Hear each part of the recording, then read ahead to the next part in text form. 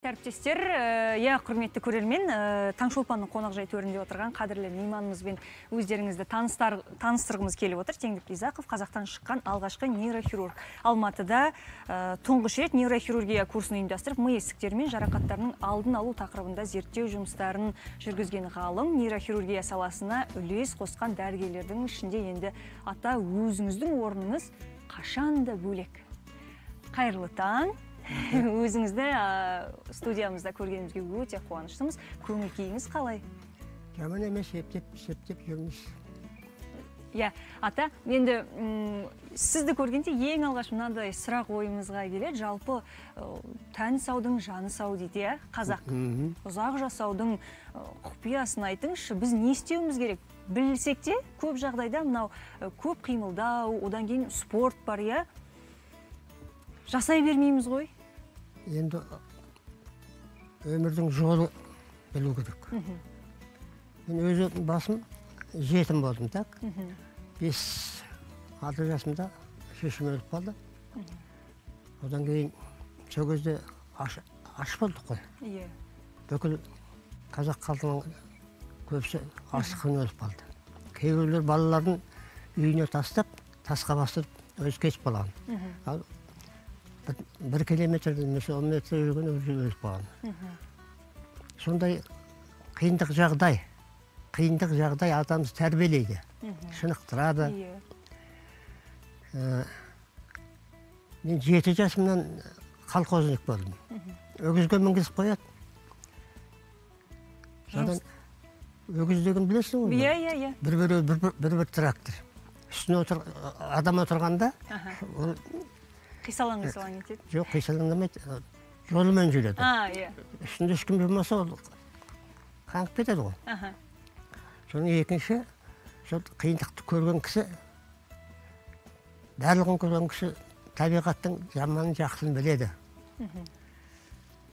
Қиындық көргенде аш боласың бір көйлекті бір рет киесің сөйтіп мен өзім сол бес жасымда ма бес, бес жарым жасымда деттім М, балалар тәрбиелейтін жерге берді мені енді ол жерде көп тарихтар бар кішкентай кезімізде мынандай ескі тұрғызып қояды қатар қатар шыға берісте үлкен қал- қа- қалай қасықпенен балықтың майын жұтқызып жібереді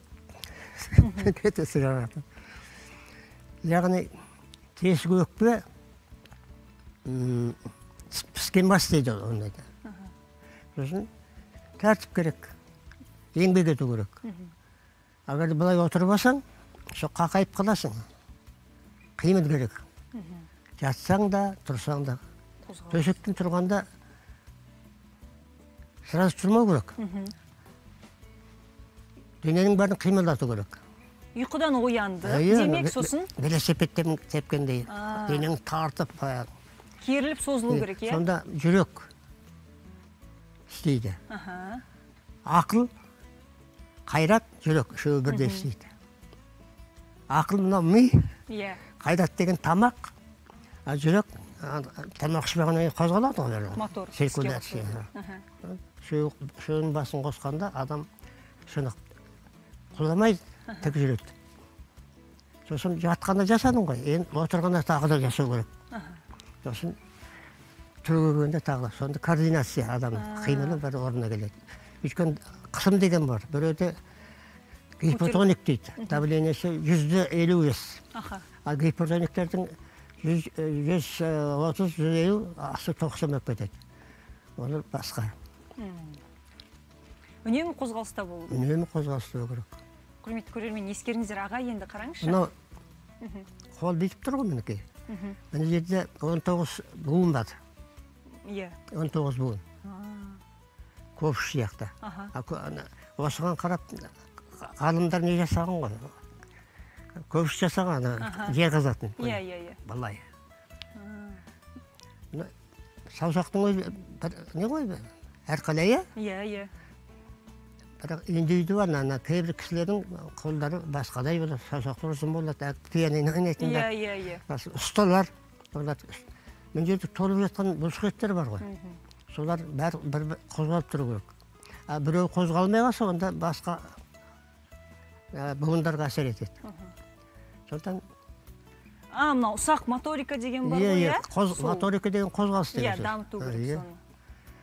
Үнемі қозғалыста жүру керек. Ата енді қараңызшы өзіңіз жаңа айтып отырсыз ғой ыыы, ауылда жаңағы өгіздің үстіне мініп жер жырттық э, еңбек еттік деп иә бүгінде өзіңізге қарап сіздің ізбасарларыңыз оқушыларыңыз бар иә соңыңыздан еріп келе жатқан бой түзейді өзіңізден ақыл кеңес сұрайды білім алады тәрбие алады тәжірибе алмасады иә. Сіз жалпы кімге қарадыңыз? Не себепті осы саланы таңдадыңыз? Аны жас кезімде ана ауылда жаңбыр жауады жаңбыр жаумай қалады ғой. Мхм сонда шалдар айтады.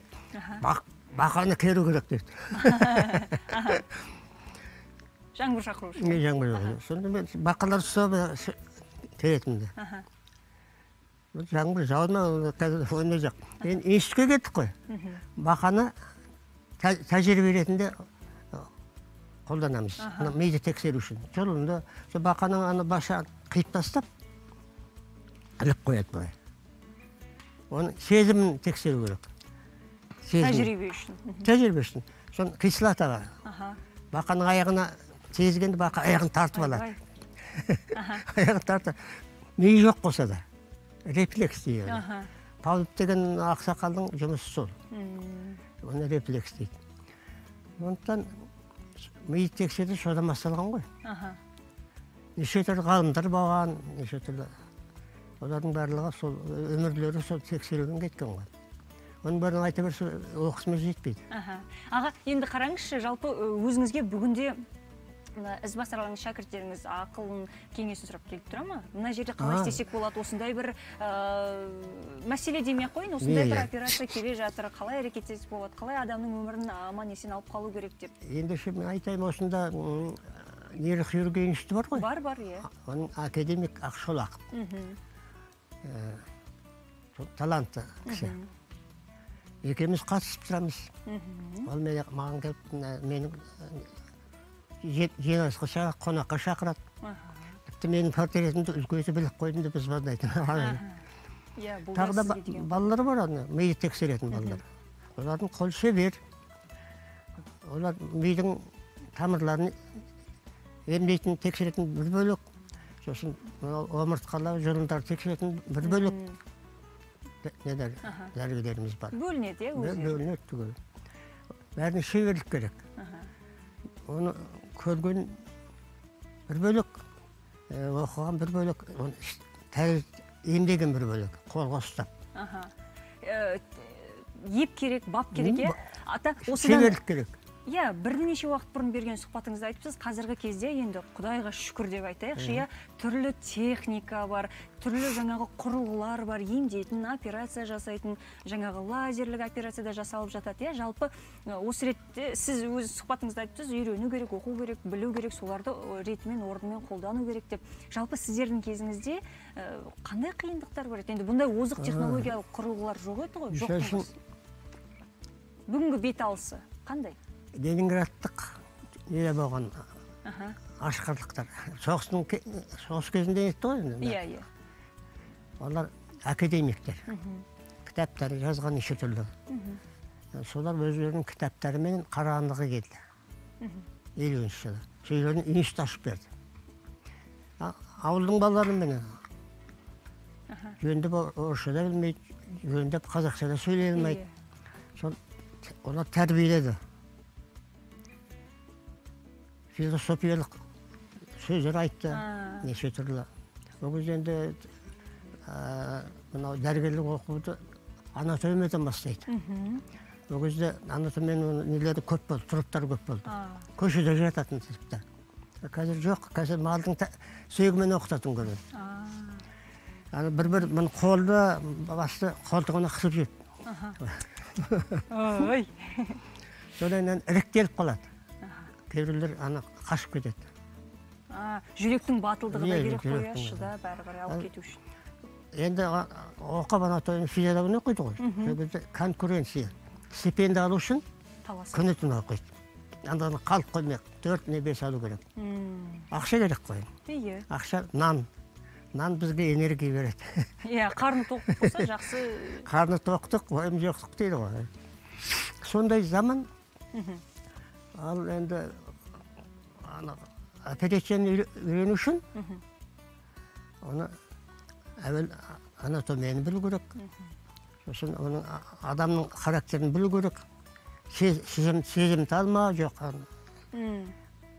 ұрып жатса ыңқылдамайтын кісілер бар мысалы үшін сондай осы мидың жұмысы ана күнменен хабарласып тұрады күнге қарай кейбіреулер ауа райы жаман болады ғой иә иә ура дейді сол кезде жүрегі қатты істей алмайды үйде жатады бәрі табиғатпен тікелей байланысты тікелей байланысты. ата енді қараңызшы қазір теледидар алдында иә бізді тамашалап отырған оқушылар болуы мүмкін немесе жоғары курстың студенттері болуы мүмкін иә қай саланы таңдасам қай бағытқа қарай бет бұрсам деген. Жалпы өзіңізден сұрайықшы мықты дәрігер болу үшін енді оған тек қана мынау кітапта жазылғанды оқып ә, ғылыми тәжірибелерді қарау аздық етеді ғой. Оған адамдық керек жүрек керек. Кейбір кезде өзіміз де емханаға ем іздеп барамыз дәрігердің алдында. Жылы қарсы алып мына жер былай жоқ бәрі жақсы болады десе қуанып кетеміз. Ал кейбір кезде өзің түңіліп ауырып ем іздеп барсаң сөзбен сені сойып сойып тастайды. Ой балды өйтесің бе?» дентология дейді. Оны ана оны айтқан кісілерде білім жоқ деген сөз. Дентология деген жаңа ә, біз этиканы білмейді деп кей кезде киіп жатамыз. Иә иә. Не істеу керек? Сондықтан адам ә, дәрігер ол сондай не болу керек? Білімі күшті болу керек. Әр сөз сөйлегенді байқап сөйлеу керек. Міне ата осы жетіспеу соны дентология дейді. Мысалы үшін бір айтайын бір семіз кісі әйел. Иә. Ә, жөндеп жүре алмайды. Денесінің бәрі май дәрігерге келеді. Әлгі дәрігер ақылды дәрігер болу керек. Сіз екі айдан кейін өлесіз дейді. Сосын? Анау семіз әйел қатты күйзеліске күйзеледі. Екі айдан кейін ол сүлдері қалады арықтап дәрігерге келеді сіз мені екі айдан кейін өлесің деп айтып едім мен өлгем жоқ дейді ол мен саған сол дәрі ретінде айтқаным ғой дейді сонда адам жаңағы уайымнан да кейбір кезде салмақ тастайды ғой иә? Адамдың адамның адамның өзін алдау алдау болды мысалы үшін қазір наркоз береді ғой. Наркозға бір сағат дайындайды. Иә. А бұрын біз бүйтетінбіз мына жерге системамен іліп қоямыз. Тамшыменен ұйықтайды жайбарақат ұйықтайды жасайтын операцияны жасай жүре бересіз. Қазір ә, техника бар анау бар мынау бар деп сол паспорт әрбір сөзіне иә. сызып Қыс- дә- дәрінің қысымын демалысын барлығын. Уақыт кетеді. Иә. Осының өзі уақыт өлтіріп алу уақыт өлтіріп алады иә ата енді жалпы ә, сіздің сөзіңізге сүйенсек адам жанын тәтті жылы сөздермен де иә, болады.